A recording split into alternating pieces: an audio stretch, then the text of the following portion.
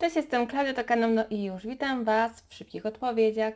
Przeprowadzone doświadczenie chemiczne, badanie właściwości wybranych substancji. Do eksperymentu użyto substancji przedstawionych na fotografiach. No i na fotografii mamy sól kuchenną i miedź.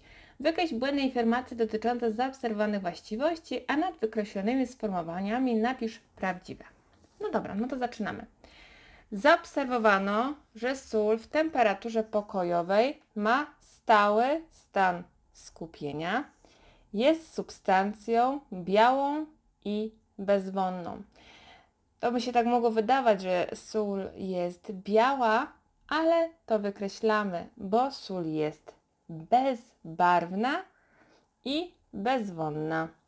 Jej cechami charakterystycznymi jest słony smak i możliwość tworzenia kryształów.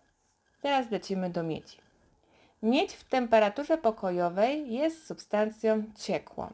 No nie, bo wiemy, że mm, mamy miedziane druciki i one wcale w temperaturze pokojowej nie są cieczą, tylko są ciałem stałym.